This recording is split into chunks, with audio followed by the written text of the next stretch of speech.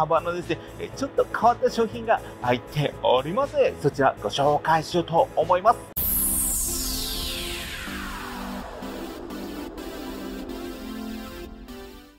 いらっしゃいませ。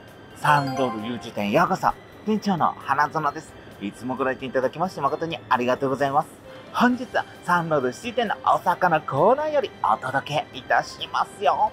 皆さんはお魚好きですか？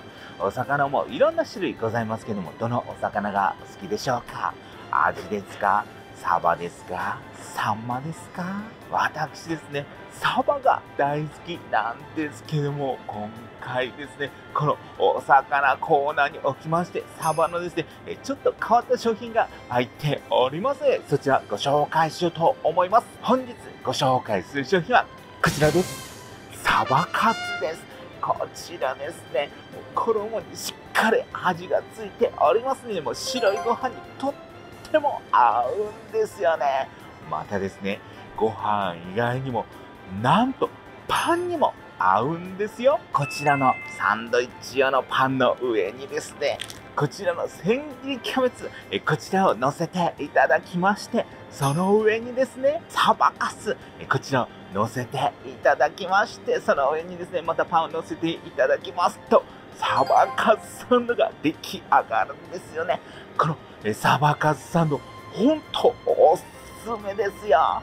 サバとパンなんて本当に合うのかなって思われるかと思うんですけど、これがですね、もう意外と合うんですよね。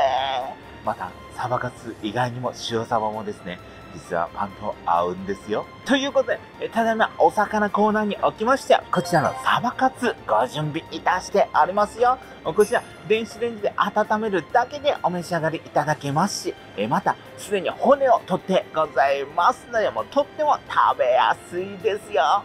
ぜひですね、お試しいただければと思います。はい。え本日はサンロード YouTube 店にご来店いただきまして誠にありがとうございました。